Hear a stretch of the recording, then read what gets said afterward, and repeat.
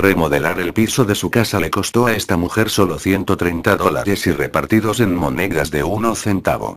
Con una paciencia a prueba de todo, ahora comparte el resultado de su creación. Por Abraham Monterrosas Vigueras. Remodelar el piso de su casa le costó a esta mujer solo 130 dólares y repartidos en monedas de uno centavo. Con una paciencia a prueba de todo, ahora comparte el resultado de su creación.